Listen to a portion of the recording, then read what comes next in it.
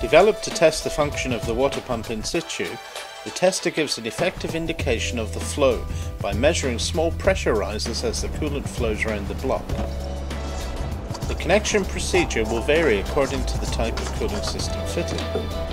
The engine must be cold, with the thermostat closed. We need to measure flow direct from the water pump, thus always connect to the engine side of the thermostat. On this engine we simply disconnect the auxiliary pipe from the expansion tank and connect the tester using the adapter from the kit.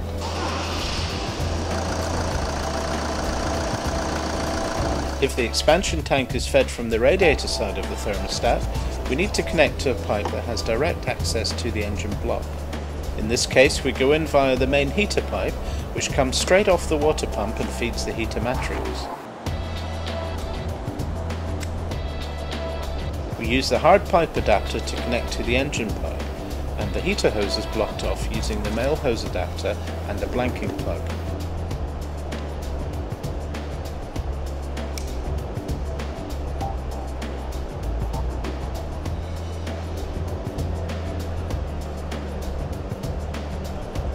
On this Volkswagen engine we're going to connect the tester to the expansion tank auxiliary pipe then demonstrate the readings on the gauge for a healthy water pump and cooling system.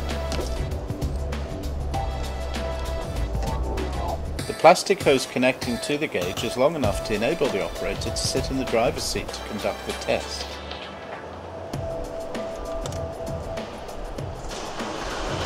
Steady reading at idle, then the needle increases with engine revs, but the needle remains steady.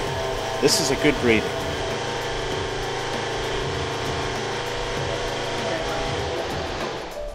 However on this engine, there's little response on the needle as the engine revs. This points to a broken or seized impeller on the water pump.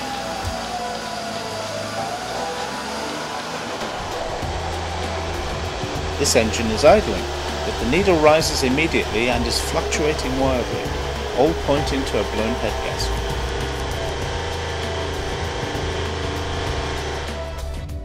And with this engine, as the revs are held at between 2 to 3000 rpm, the needle fluctuates. This could indicate pump slippage or impeller damage.